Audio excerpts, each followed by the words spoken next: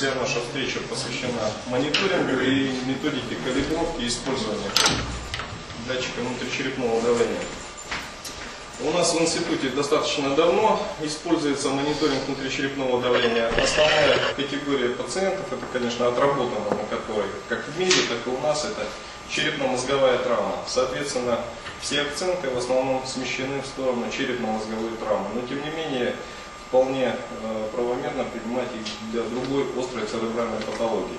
Мониторинг внутричерепного давления мы используем также у пациентов с субарахноидальными кровоизлияниями, Э, в постоперационном периоде с э, любой нейрохирургической патологией, начиная там, от краниоферингиом и кончая больших менингиом, крыльев основной кости, которые текут атипично, с осложнениями, либо после всевозможных ревизий. Хирурги идут активно навстречу, позволяя нам лечить уже более прицельно. Не формально, там, гормоны, поддержите давление, а ориентиры уже на внутричерепное давление, церебрально-перфузионное, расширяем мониторинг, с использованием регулярной оксиметрии, мониторинга Entitled CO2, то есть более такой развернутый мониторинг, который дает нам резервы по терапии. А, начнем с истории измерения внутричерепного давления. Начиная уже с 18 века была выполнена первая люмбальная пункция и так называемая первая непрямая оценка внутричерепного давления. Первое использование данных этого непрямого измерения были использованы уже в 20 Э, в 20-х годах 2020 э, века, э, когда показанием к использованию декомпрессии подвисочной, с резекцией подвисочной кости являлось внутричерепное давление выше 15. То есть 15 первый рубеж, после которого мог развиваться дислокационный синдром. Ламфит выявил очень важную закономерность, то что не всегда измерение э, давления в люмбарном пространстве может отражать давление внутричерепное. При ряде проблем, особенно локализующихся в задней черепной ямке, при дислокационных будет достаточно значительный градиент между измерением э, давления в полости черепа и в люмбальном пространстве. Потому он предлагал уже использовать прямое измерение непосредственно в полости черепа. К такому измерению прибег в 1928 году Хадсон, э, то есть он пунктировал просто желудочки и проводил однократные измерения, такие дискретные. Пьер использовал уже непрерывное, принципе, пионером измерения и проведения мониторинга является Пьер Джани. Однако работа его была опубликована только в 1972 году, и потому общепризнанные лавры отданы Нильсу Лундбергу, который выпустил свою историческую монографию по длительному мониторированию внутричерепного давления в нейрохирургических больных. Значит, Лунберг выделял базальное значение внутричерепного давления, это не что иное, как среднее усредненное, то, которому все мы в практике будем работать, все мониторы прикроватные выдают среднее значение, усредненное за какой-то период времени. И пульсовое значение тоже также важное. А, это систолодиастолические, систолодиастолические параметры, отражающие пульсативную активность волновых колебаний. Значит, сразу бы хотела, хотелось бы отметить, что наиболее интересные и часто встречаемые в нашей практике это будут А-волны, так называемые плата-волны. Они достаточно значительные по амплитуде и длительностью от 5 и более минут. На тренде вот они выглядят так. Почему плата? Потому что вот именно характеризуется такой плата, уплощенной площадкой. Чем они интересны для нас? Понимание как бы, патофизиологических механизмов, в основе их всегда лежит вазодилатация мозговых сосудов. А, о чем свидетельствует плата волн? В первую очередь о снижении комплайенса головного мозга и по мере э, удлинения сроков как бы, существования этих плат резко возрастает э, риск ишемии церебральной. Б-волны это менее выраженные по амплитуде и более короткие по продолжительности. Самое главное знать, что они очень часто трансформируются в А-волны. Насчет А-волн были проведены ряд таких фундаментальных исследований по оценку по оценке динамики причин возникновения. Как я сказал, основная причина при э, расширенном мониторинге была проведена с использованием позитронной эмиссионной томографии, доплерографии, различных э, ксеноновых методик. Это э, вазодилатационный каскад. Вазодилатационный каскад, который запускается любым, любой причиной, приводящей к снижению артериального давления, к снижению перфузионного давления. А, устранить его очень легко, это провести гипервентиляцию, либо повысить перфузионное давление, запустить каскад вазоконстрикции. Что очень характерно, и вот это вот подчеркивается, что в принципе сами платоволны по своей сути, они являются прогностически благоприятными. При наличии таких волн и адекватной коррекции исход, как правило, благоприятный. А чаще у молодых лиц и в регистрации их одна четверть от всего времени мониторирования.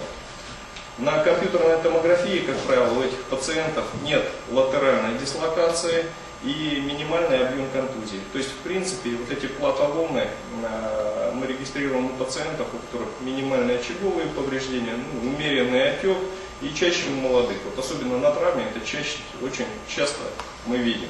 То есть волноваться не надо, надо просто более жестко контролировать церебрально-перфузионное давление. Это основная причина для появления платоволн.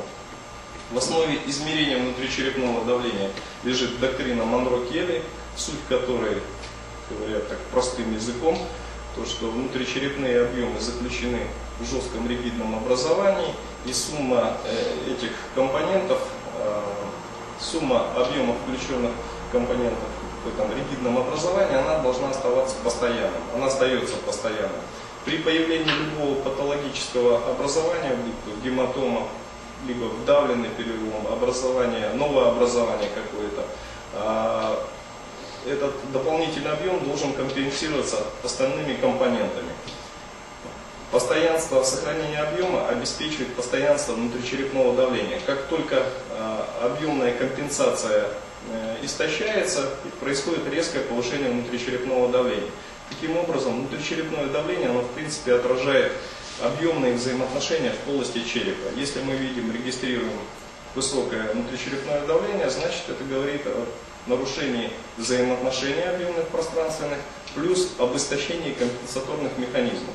Значит, компенсацию нам в первую очередь обеспечивает первостепенно это ликварные пространства, и на втором месте это кровеносное пространство, в основном за счет венозного компонента.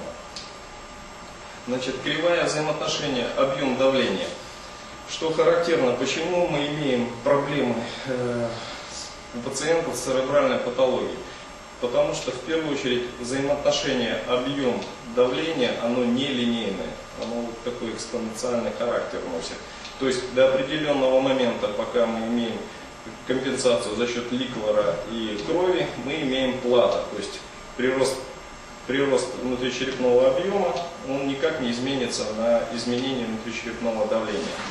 По истощении компенсаторных механизмов идет резкий прирост внутричерепного давления. Все наши пациенты в критическом состоянии, они всегда находятся в зоне субкомпенсации. То есть малейшие колебания внутричерепного объема, они могут привести к росту ВЧД и к клинению. А самое печальное это то, что дислокационные явления, они плохо мониторируются клиническая неврология, то есть неврологический мониторинг, он является полноценным. На этом промежутке он может быть недостаточным. Потому в практике было внедрено непосредственно инвазивный мониторинг внутричерепного давления, чтобы ловить и мониторировать пациентов в стадии субкомпенсации. Более реактивный, более быстрый, более честный, направленный мониторинг. Что же такое внутричерепное давление? значит, по представлению и соответствии с доктриной Монро Келли некое равномерное распространение в полости черепа давления. А, вот ряд авторов считает, что первостепенно это давление непосредственно спинномозговой жидкости, давление в венозных коллекторах, давление ликвора непосредственно в желудочковой системе. В принципе, а, Лумберг пришел к тому же выводу, используя мониторинг именно ликворного давления в полости желудочка. Однако уравнение Давсона, вот, э, наиболее как бы, фундаментальная математическая модель по ВЧД, отражает, что да, это давление цереброспинальной жидкости, которое вычисляется как э, скорость продукции ликвора на, на, э, на коэффициент сопротивления оттоку ликвору и обязательно включает давление в сагитальном синусе. Однако, а, модифицируя это уравнение, вот Энтони Мармару, это, наверное, один из лидеров по э, измерению внутричерепного давления, описания патофизиологии, разработки математических моделей, он э, принципиально разделил два компонента в, во внутричерепном давлении. Это сосудистый вазогенный и невазогенный, или несосудистый. То есть, в принципе, он, это было отдано на откуп именно ликвороциркуляции. Что вот он отмечал касательно если черепно-мозговой травмы? Что вазогенный компонент, он вносит а, определяющее а, значение формирования внутричерепного давления и, естественно, внутричерепной гипертензии.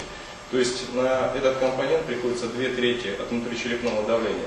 Ликварный компонент, он всего лишь занимает треть от формирования данной э, единицы. Э, принципиальность в чем? То, что использование наружного вентрикулярного дренирования и разрешение внесосудистого компонента, оно гарантировано максимально только 30% успеха.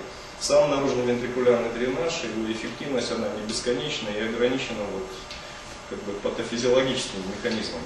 Основное поле, на котором работает при ведении черепно-мозговой травмы, это, конечно, давление притока, давление оттока и ауторегуляционный компонент. Таким образом, э, общепринято уже на сегодня, что никакие методы другие не заменят прямого инвазивного измерения внутричерепного давления.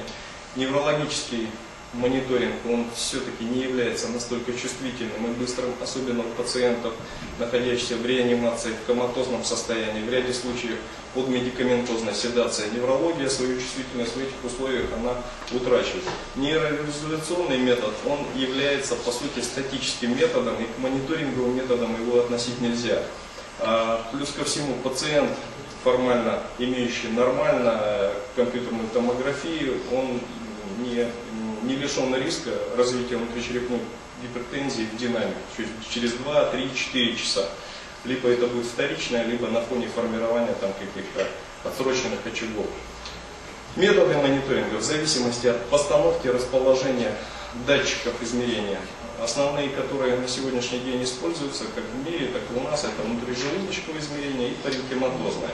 Относительно внутрижелудочкового измерения Всем известно, что это золотой стандарт. Все э, нововведенные методики, они всегда сравнивались с эталонным методом, то есть с методом внутрижелудочкового измерения. Наиболее близкий э, к точности, по точности измерения на сегодняшний, на сегодняшний день считается это паренхематозное измерение и относительно субдуральное расположение датчика. Очень важная опция, которая позволяет э, использовать вентрикулярный дренаж как именно терапевтический компонент, э, как я говорил, то есть в 30% случаев возможно добиться успеха именно на наружном вентрикулярном дренировании. Однако возможны трудности, вы, если общаетесь с нейрохирургами, зачастую основное, что сдерживает хирургов для активного использования, это инфекционные геморрагические осложнения. Э, у нас в институте активно используется наружное вентрикулярное дренирование у всех пациентов э, с нейрохирургической патологией, где есть четкие показания. В основном это нарушение ликвородинамики, либо проблема в задней черепной ямке. Э, в отдельных случаях мы используем в отсроченном периоде при введении острой черепно-мозговой травмы как дополнительный компонент при наличии возможности постановки данного дренажа, э, потому что по нашему опыту там, на третьи пятые сутки иногда бывает после диффузного отека, как только появляются желудочки, наши хирурги дополнительно ставят наружный вентрикулярный дренаж, и на этом фоне у нас агрессивность терапии с использованием гипервентиляции манитола, она в разы уменьшается. То есть это очень мощная терапевтическая опция. Вот пример, а, это пациент с черепно-мозговой травмой, на верхнем а, верху тренд динамика среднего артериального давления, вверху, э, внизу это внутричерепное давление. Э, гипертензия достигала порядка там, 40-35, причем вырос резко у него натрий на фоне нашей терапии агрессивной. СО2 реактивность у него была снижена, то есть ответ на гипервентиляцию был утрачен. Но на третьи и пятые сутки это было произведено. У него появилось желудочки, по крайней мере, наши ординаторы смогли с успехом поставить. Использовали вот наружную систему Кодмановскую дренирование, установили уровень дренирования где-то 20-25, и дальше по умолчанию проходило, происходило дренирование. Вот 5-7 кубиков ликвора, дренировавшись, позволяли стабилизировать внутричерепное давление. То есть другие опции мы не использовали, на непрерывной седации. Все. достаточно эффективный пример. К сожалению, я еще раз повторяю, не у всех пациентов срабатывает этот механизм, потому что не он является первоопределяющим. И первопричина иногда бывает именно нарушение ауторегуляции, либо массивный очаг повреждения с нарушением гематоэнцефалического барьера. В этих условиях, конечно, venтрикулярный дренаж работать не будет. Есть еще один момент, вот, э, если кто знает концепция Лунд, шведы, которые продвигают, они считают, что наружное вентрикулярное дренирование, оно по сути противопоказано. Почему? Потому что оно приводит к синдрому раздаивания, так называемому. То есть э, растет градиент между притоком и оттоком, на этом фоне увеличивается сам процесс ликворопродукции. Ну, этот вопрос, он дискутабельный, но, по крайней мере, что в отдельных случаях наружный вентрикулярный дренаж достаточно хорошо срабатывает, он оправдывает его существование и использование. Из других методов, э, значит, если э, мы использовали раньше очень активно субдуральное расположение датчика, паренхиматозное расположение, как я говорил, от эпидурального мы отказались где-то до 2000 года. У нас хирурги очень любили эпидуральную постановку, потому что меньше риск инфицирования, проще ставить. На самом деле метод с, великими, с великими погрешностями, э, занижения показателей и, соответственно, ориентир на терапию он невозможен. Идет демпфирование сигнала за счет именно твердой мозговой оболочки. Люмбальный дренаж опасен, как я сказал, во-первых, при находе дислокационных, при наличии масс-эффекта в задней черепной ямке и менее точно, это уже было доказано. Однако этот метод используется при длительном мониторинге у пациентов на фоне гидроцефалии для определения тактики и используют так называемые инфузионные тесты, на основе которых принимают решение, надо шунтировать пациента, какую шунку устанавливать. Это методики запатентованные, существуют программы по оценке инфузионного теста, это уже компьютерные технологии. Э, по регистрации смещения барабанной перепонки как говорится, знаю, как и многие все, сам никогда не видел этой методики, только вот по данным литературе, но не видел как бы широкого упоминания. Вот одни из последних ссылок это вот 2005 год. То есть широкого распространения данная методика не имеет. И как я понял, она в основном используется у пациентов, которые э, страдают именно гидроцефалией, доброкачественной гипертензией. Транскраниальная доплерография. Вот эта методика очень интересная. Однако вот, публикация 98 -го года было еще указано, что погрешность плюс-минус 15 э, миллиметров ртутного столба от истинного значения. Однако дальнейшие публикации с этим же автором, вот это немецкий разработчик, э, указывает, что достаточно точно отражение э, при сопоставлении с инвазивным давлением. Методика какая? Разработана специальная программа, которая анализирует линейную скорость кровотока, инвазивное артериальное давление, вот, инвазивно артериальная вместе с линейной скоростью кровотока и э, трансформирует это в неинвазивный сигнал ВЧД. Автор утверждает, что достаточно точно в ряде случаев э, может заменять. То есть наличие инвазивной артериальной линии и доплерографии в течение какого-то времени может позволять проводить измерения внутричерепного давления. Паренхематозное измерение, как я сказал, при всех своих плюсах единственный недостаток это невозможность перекалибровки. Но э, вот, допустим, использование датчиков фирмы Кодман, оно чем положительно, то что э, калибруется датчик один раз, и основная проблема у всех датчиков это э, дрейф нулевого значения.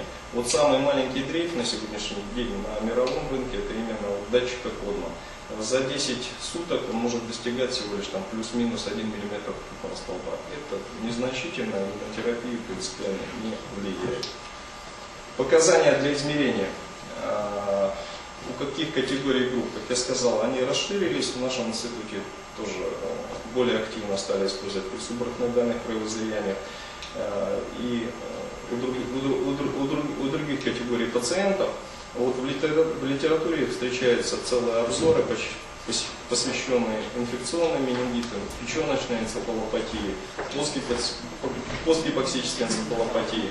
То есть мониторинг он э, завоевывает реанимационное отделение при различных патологиях.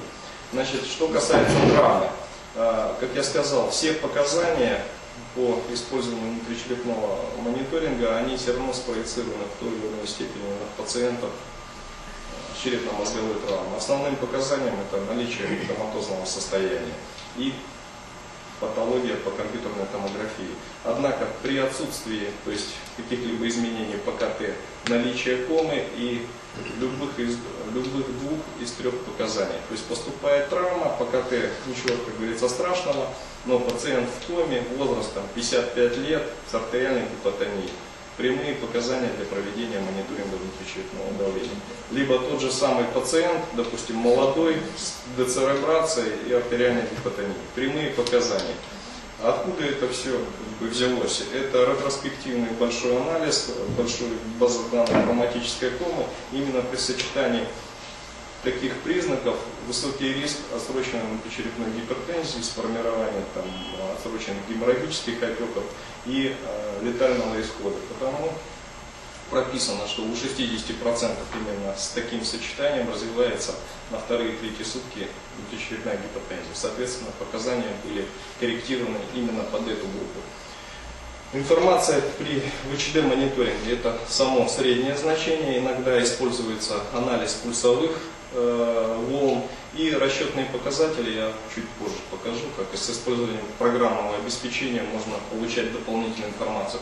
Второй важный показатель – это церебральное перфузионное давление. Э, на многих мониторах он выводится в автоматическом режиме, так что проблем никаких нет. Ручкой прописывать, вычислять не надо.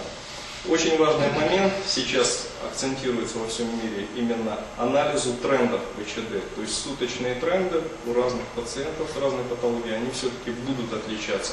Мало того, при анализе таких трендов было э, определено, что сам тренд имеет независимое прогностическое значение. То есть использование самого среднего значения, вот там за сутки усредненное, оно не показательно. Именно тренд с колебаниями, с девиацией, разбросом значений, он более чувствителен по прогнозированию. Основные варианты, которые мы встречаем в своей практике, вот так формально обозначили, вот первый тип, то есть когда существуют колебания, но они не выходят за границы нормы, до 20. Более стойкие повышения ничего хорошего, конечно, не несут. То есть здесь явная проблема, базальное давление повышено, нет никаких колебаний, то есть сплошная практически плата волна, на которой наши терапевтические опции не оказывают никакого воздействия. И вот такая интермитирующая кривая ВЧД, явное наше воздействие терапевтические, причем он отвечает на терапию. Видно, что удается э, с трудом, но коррегировать давление. Большая категория пациентов, которые у нас в мире реанимации, конечно, к третьему типу Внутричерепная гипертензия. Общепринято по данным литературы, это ВЧД выше 25. Американская ассоциация нейрохирургов утверждает, что внутричерепная гипертензия это выше 20 мм ртутного столба длительностью больше 5 минут, которая обязательно требует коррекции. А в чем, какие трудности гипертензия? В первую очередь вызывает это риск церебральной ишемии и, что неприятно, это вот вклинение и структурные нарушения, начиная от сосудистых, как и непосредственно повреждения мозговой ткани. К сожалению, на сегодняшний день не установлено давление вклинения. Непонятно. А, нет единого маркера по давлению вклинения. Некоторые пациенты могут вклиниться на значение 20, а некоторые переживают с успехом 50-40. Доказательства в пользу мониторинга. В первую очередь это то, что пациенты с гипертензией имеют неблагоприятный исход. Это однозначно доказано и на травме, и на инсультах больных, и на пациентах с геморрагическими кровоизлияниями. А, является важным показателем внутричерепных взаимоотношений, как я говорил, с учетом концепции Монро Келли. Имеет прогностическое значение и вот для нас что важно, это критерии эффективности проводимой терапии. Просто представить, что мы, допустим, травму, которую мы ежедневно видим, ведем без мониторинга ВЧД. Конечно, на глаз лечить по интуиции, по опыту, в совокупности с наличием компьютерной томографии, грамотной нейрохирургической поддержки возможно. Так лечит, наверное, вся страна, я думаю. Но, тем не менее, показателей летальности исходов гораздо хуже. Несмотря на то, что а, в литературе появились такие соленые достаточно статьи, дискутирующие и сравнивающие исходы в центрах, это вот в голландские центры, сравнили большие когортные исследования по пациентам, леченным а, с мониторингом ВЧД, без мониторинга, они указывает, что резко возрастает агрессивность терапии, не улучшая исхода. При тщательном рассмотрении, конечно, статья, статьи достаточно некорректные, несопоставимые группы. И самое главное, э, суть была отражена, что при наличии мониторинга интенсивисты чаще обращаются к направленной терапии. То есть чаще регистрируется гипертензия, чаще устанавливается ее причина и чаще она устраняется. Церебральное перфузионное давление – это второй ориентир во всех современных протоколах. То есть помимо внутричерепного давления мы всегда лечим церебральное перфузионное. Не лечим, а коррегируем. А, как фактор летального исхода я сказал, то что при тяжелой травме, допустим, в УЧД, при тяжелой, то есть у пациентов, находящихся в коме, регистрируется высокое внутричерепное давление практически у 80% пациентов. В 70-е годы 50% э, пациентов в коматозном состоянии, то есть тяжелой чем-то, они погибали, независимо от проводимой терапии. Э, величина среднего давления, то, о чем я говорил, то есть с тем, с чем мы работаем, имеет независимое прогностическое значение, это независимый прогностический критерий. По мере, по, по мере роста внутричерепного давления растет э, количество неблагоприятных исходов, уменьшается количество благоприятных. Естественно, что вот статистические данные, они четко подтверждают это. Э, важно не только среднее значение, но и длительность существования внутричерепной гипертензии. Вот на данном графике указаны процентная, ну, в единице, а, в доли от единицы длительность гипертензии от длительности мониторинга. То есть 40% времени держится внутричерепная гипертензия от всего длительности мониторинга. Вероятность неблагоприятного исхода в виде вегетатики и летального исхода 80%. При 80% то есть вероятности выжить практически нет. Значит, относительно возможностей современных, само значение внутричерепного давления это хорошо, но при использовании вот компьютерного анализа волновых колебаний можно получить ряд расчетных э, коэффициентов, которые также имеют свою прогностическую силу и позволяют менять терапию, структуру терапии. Вот один из них это коэффициент э, цереброваскулярной реактивности, ну, можно называть его где-то коэффициентом ауторегуляции, коэффициент PRX. И коэффициент RA это фактически коэффициент упругости, эластанс. Значит, э, данные коэффициенты являются корреляционными, то есть они меняются от минус 1 до плюс 1 и э, характеризуют, как меняется относительно внутричерепного, как меняется относительно артериального давления внутричерепное давление, вот коэффициент PRX, используется математический анализ волновых колебаний, когда мы видим как бы, конкордантные изменения внутричерепного давления и э, среднего артериального давления, строится такая корреляционная прямая линия, то есть корреляция ближе к единице. Соответственно, можно утверждать, что ауторегуляция у данного пациента утрачена. То есть внутричерепное давление следует пассивно за изменением артериального давления. И при вот такой ситуации, когда при повышении среднего артериального давления мы регистрируем снижение внутричерепного давления, то есть регистрируем нормальный сосудистый ответ, ауторегуляционный. Соответственно, коэффициент корреляции он будет отрицательный.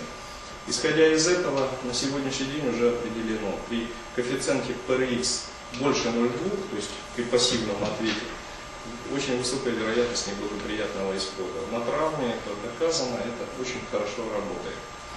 На основании вот коэффициента PRX удается именно, опять же, используя компьютерные технологии, определить э, те значения церебрального перфузионного давления, когда вот этот коэффициент достигает минимального значения. То есть то ЦПД, при котором ответ сосудов он адекватный. На основании этого идет расчет оптимальной церебральной перфузии.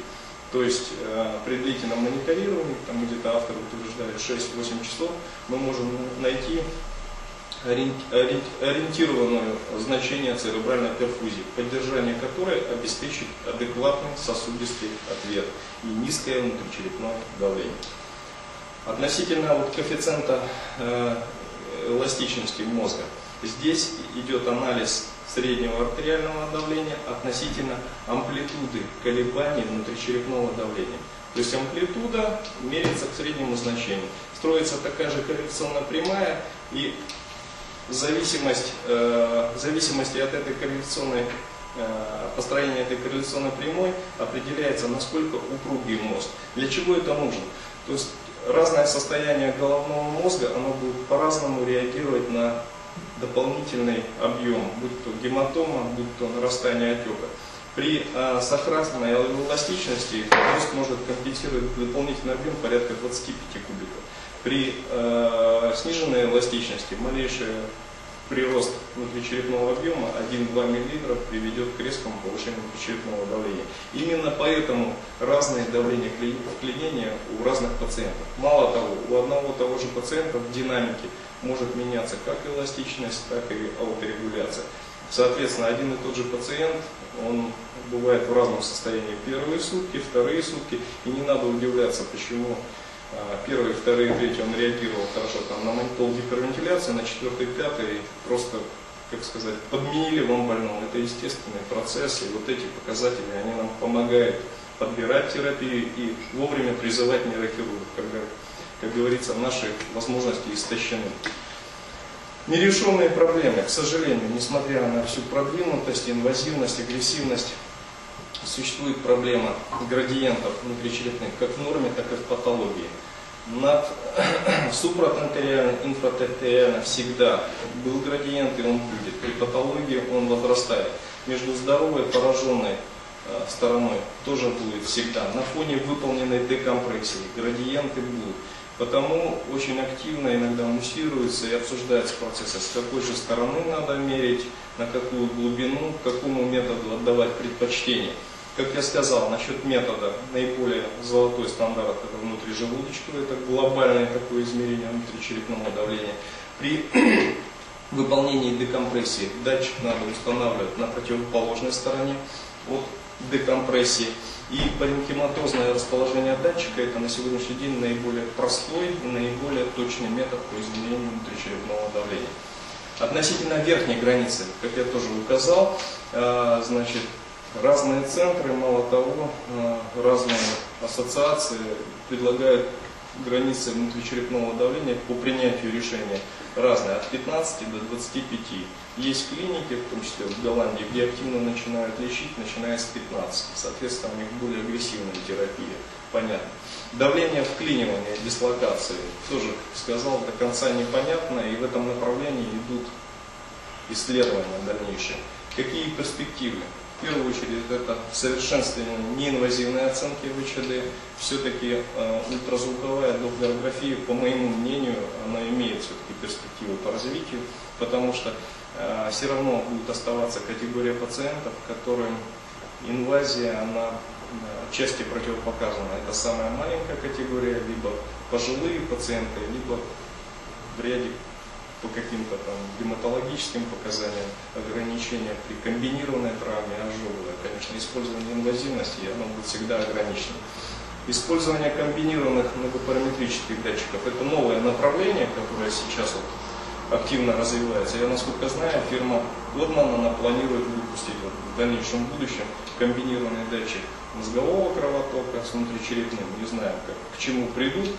А, значит, на сегодняшний день существуют датчики комбинированные измерения внутричерепного давления сразу с температурой, мало того, еще с оксигенацией паренхиме головного мозга. Вот. Насчет микродиализа не знаю. Существуют датчики, которые э, дистанционно имеют два сенсора, позволяющие мерить градиент внутричерепного давления. То есть в одной точке, в другой, на одном датчике. И есть работы, которые подтверждают по мере роста градиента, это растет показания для декомпрессии. И использование компьютерных технологий это в основном анализ волновых колебаний, расчет ауторегуляции, эластичности в таком в онлайн режиме, прикроватно, с использованием обычного датчика инвазивного артериального давления и инвазивного внутричерепного давления. Все, спасибо.